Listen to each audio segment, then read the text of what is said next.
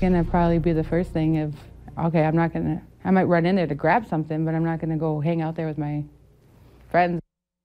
In the last two weeks, there have been at least two fights inside West Acres Mall, and management is doing something about it. While we don't know the details, Valley News Team's Joshua Peguero spoke to shoppers who say they feel less safe after the recent acts of violence.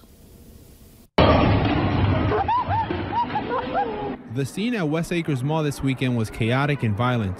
A brawl broke out involving several teens, at times grabbing chairs and throwing them at each other in the food court. Another punching someone on the floor. Several shoppers looked on, some protecting their kids.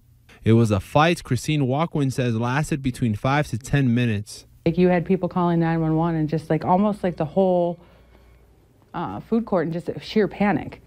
Walkwin says the child she was with was traumatized by what went on. Like this was a huge event for her. Like she was just silent. Like getting her out of the mall was awful. Walkwin says she's upset mall staff took so long to respond. It almost should have just been disciplined, like ended faster than it was, and it wasn't. It's estimated nearly a dozen teens were involved in the brawl, and Fargo police say they've been identified. Mall management says the teens are banned from West Acres. They're also defending how their security responded, saying they were there within 90 seconds of being notified. When it comes to safety at the mall, management tells us they're not going to disclose what they do and how they do it, but they do say that safety is a top priority for their shoppers. The mall has seen other fight related trouble recently.